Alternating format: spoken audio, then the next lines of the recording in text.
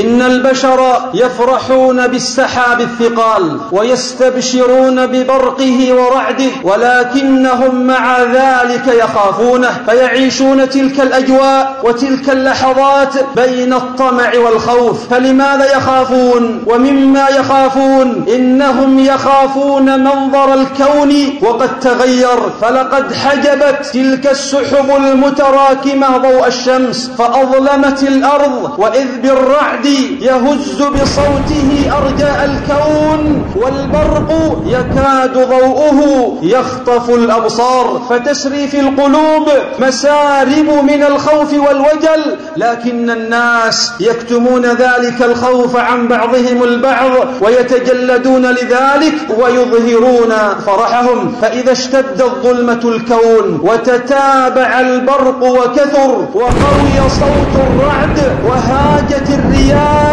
ازداد الخوف ووجل العباد المؤمنون والكفار الأبرار والفجار لأن تغير أحوال الكون وتغير نظام الكون واضطراب نظام الكون يبعث الرهبة في القلوب ويثير الرعب في النفوس. لكن خوف المؤمنين يكون من ربهم جل وعلا سبحانه وتعالى ومن عقوبته جراء ذنوبهم ومعاصيهم معاصيهم وتقصيرهم فإذا سمعوا الرعد بذاك الصوت الهائل العظيم نطقوا معه مسبحين لله ومعظمين له. قال الله عز وجل والذي يريكم البرق خوفا وطمعا وينشئ السحاب الثقال ويسبح الرعد بحمده والملائكة